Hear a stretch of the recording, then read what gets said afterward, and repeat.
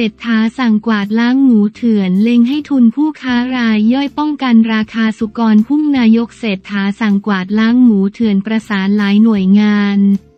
ชี้เป็นเรื่องใหญ่เล็งให้ทุนผู้ค้ารายกลางและรายย่อย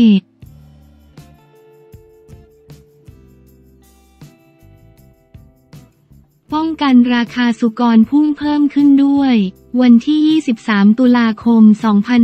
2566 นายเศรษฐาทวีสิน นายกรัฐมนตรีและรัฐมนตรีว่าการกระทรวงคลังให้สัมภาษณ์ถึงการแก้ปัญหาการลักลอบนำเข้าหมูเถื่อนว่า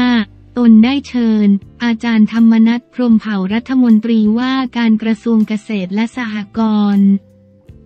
อธิบดีกรมปศุสัตว์และอธิบดีกรมศุลกากร และธนาคารเพื่อการเกษตรและสหกรณ์ทกส มาร่วมหารือโดยทุกคนทราบดีว่าเรื่องหมูเถื่อนเป็นปัญหาใหญ่ มีการจับกลุ่มได้หลายร้อยตู้คอนเทนเนอร์ และยังจับได้เพิ่ม โดยแจ้งความไปที่กรมสอบสวนคดีพิเศษ DSI และมีการดำเนินการสอบสวนและขยายผล เพราะเรื่องนี้เป็นเรื่องใหญ่เราต้องมองไปในอนาคตข้างหน้าว่า หากมีการจับกลุ่มหมูเถื่อน ซึ่งมีผู้ค้าหมูเพียงไม่กี่รายในประเทศ จะส่งผลให้ราคาหมูเพิ่มขึ้น ดังนั้นจะต้องทำอย่างไรไม่ให้ราคาหมูเพิ่มขึ้น จึงต้องไปพึ่งผู้ค้ารายกลางและรายย่อย ในช่วงที่เรามีหมูเถื่อนลักลอบเข้ามาผู้ค้ากลุ่มรายกลางและรายย่อยเสียหาย ที่กระแสเงินสดไปไม่ถึงล้มหายตายจากไปเยอะมาก ไม่สามารถประกอบอาชีพได้นายเศรษฐากล่าวว่าจากที่หารือกับทกสและอธิบดีกรมปศุสัตว์ จะมีการให้ทุนกับผู้ค้ารายกลางและรายเล็ก เมื่อมีโอกาสได้กลับมาเลี้ยงหมูใหม่ และมีปริมาณหมูเพิ่มส่งเข้ามาในตลาดทำให้ราคาหมูไม่สูงขึ้นมาก ตรงนี้เป็นเรื่องที่เราต้องมองในระยะยาว เพื่อแก้ไขปัญหาทั้งหมดที่เกิดขึ้น ขั้นตอนต่อไปคือต้องฟื้นฟูผู้เลี้ยงหมูกลุ่มรายกลางและรายย่อย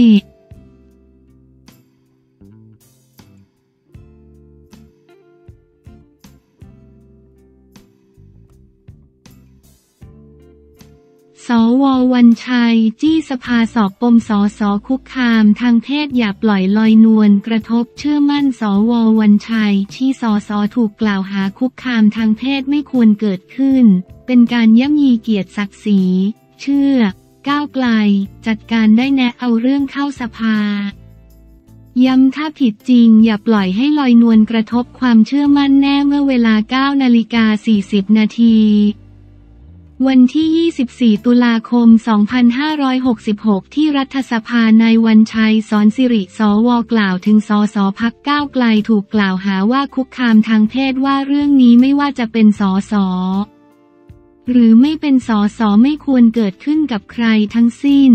ลำพังแค่เป็นประชาชนคนธรรมดาก็มากไปแล้ว การคุกคามทางเพศไม่ควรกระทำถือเป็นเรื่องจริยธรรมร้ายแรง แม้แต่ที่ทำงานไม่ว่าจะเป็นภาคเอกชนหรือราชการ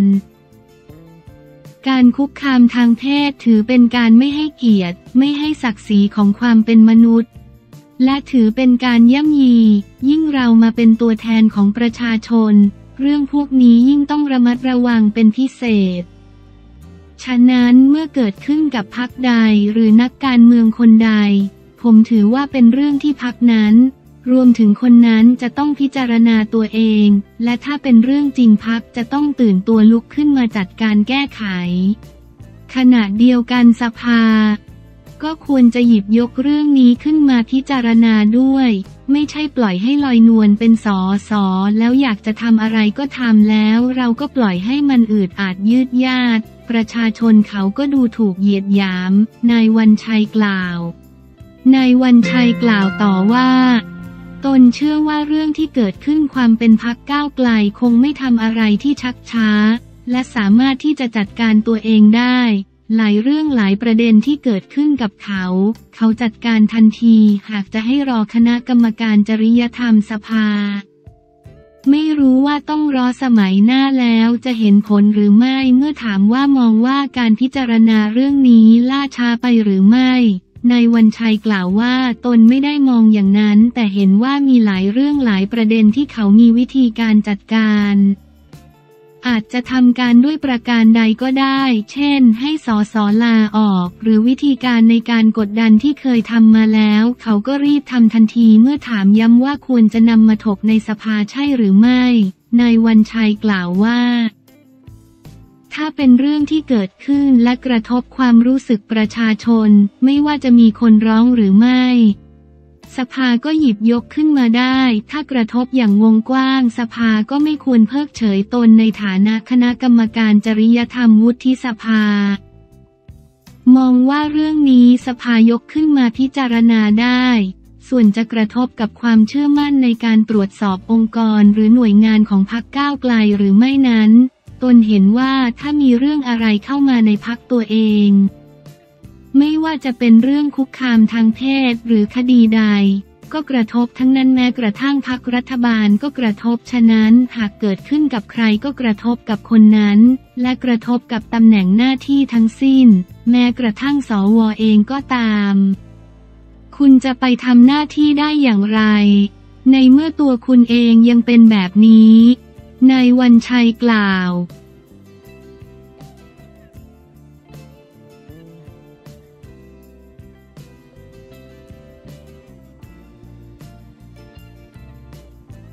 แม่เบนเรซซิ่งดีใจจนพูดไม่ออกลูกชายได้รับอิสรภาพครอบครัว พร้อมรอรับที่เรือนจำที่ผ่านมาเสียใจที่ลูกชายต้องติดคุก วันนี้ได้รับอิสรภาพแล้วแม่เบนเรซซิ่งดีใจจนพูดไม่ออก ครอบครัวพร้อมรอรับที่เรือนจำจากกรณีสารดีกาแก้ให้ยกฟ้องเบนเรซซิ่งข้อหาสมคบค้ายาเสพติด แต่ผิดข้อหาฟอกเงินจำคุก 3 ปี 4 เดือน โดยเมื่อเวลา 9 นาฬิกา 30 นาที วันที่ 24 ตุลาคม ที่ศาลอาญาถนนรัชดาพิเศษศาลนัดอ่านคำพิพากษาศาลฎีกาคดียาเสพติดหมายเลขดำ อยเศษ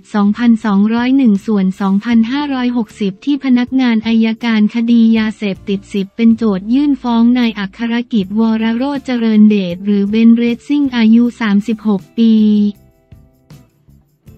ดีตสามีแพทนปภาตันตระกูลนักแสดงและพิธีกรสาวชื่อดังผู้สื่อข่าวรายงานว่านายอัครกิจหรือเบนเรซซิ่ง อดีตสามีแพทนปภามีความผิดเฉพาะข้อหาร่วมกันฟอกเงิน ซึ่งศาลอุทธรณ์จำคุก 3 ปี 4 เดือนโดยนายอัครกิจหรือเบนเรซซิ่งติดคุกมาแล้ว 4 ปีเศษ ดังนั้นจะได้รับการปล่อยตัวที่ทันทสถานบำบัดพิเศษกลางในช่วงเย็นวันนี้ ด้านมารดาของเบนเรซซิ่งกล่าวว่ารู้สึกดีใจมากจนพูดไม่ออก ที่ผ่านมาเสียใจที่ลูกชายมาติดคุก แต่ตอนนี้ลูกชายติดคุกครบแล้ว ดังนั้นตอนเย็นนี้ครอบครัวและเพื่อนก็เตรียมตัวจะไปรับลูกชายที่เรือนจำ